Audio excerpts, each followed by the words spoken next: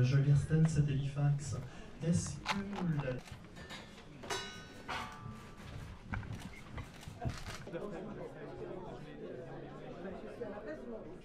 Sont nommés pour le César de la meilleure actrice.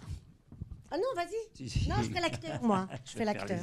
Moi, j'aime bien l'idée, j'ai fait des films pour les actrices. Loubna Abidar dans Match Loved. Emmanuel Berco dans Mon Roi. Cécile de France dans La Belle Saison. Catherine Deneuve dans La Tête Haute.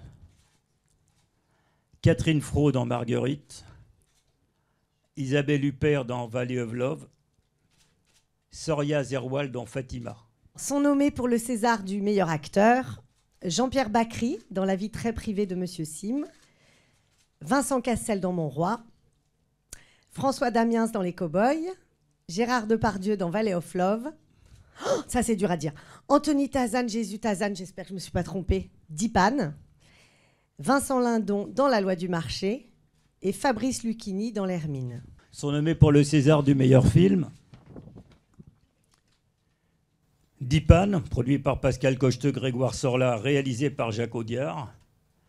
Fatima, produit par Yasmina Nini Faucon, Philippe Faucon, réalisé par Philippe Faucon. La loi du marché, ah ben ça arrive.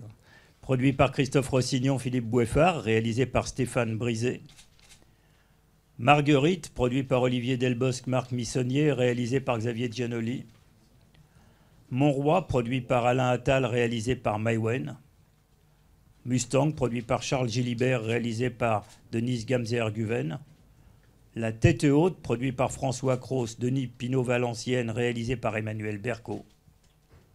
Trois souvenirs de ma jeunesse, produit par Pascal Cocheteux, Grégoire Sorla, réalisé par Arnaud Desplechat. Voilà. Voilà.